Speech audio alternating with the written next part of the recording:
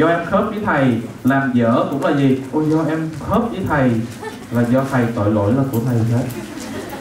Mọi người không có tội. Tội là do ông thầy cũng làm mọi người bị khớp. Trời ơi, mô phật. Ừ rồi rồi, thủy thủy. Thôi được rồi, mời em ngồi xuống. Rồi, bây giờ xin mời một người khác, một bạn nam đi. Thì giờ lớp đây có hai bạn nam mà. Thì bạn kia trả rồi. Rồi xin mời kim.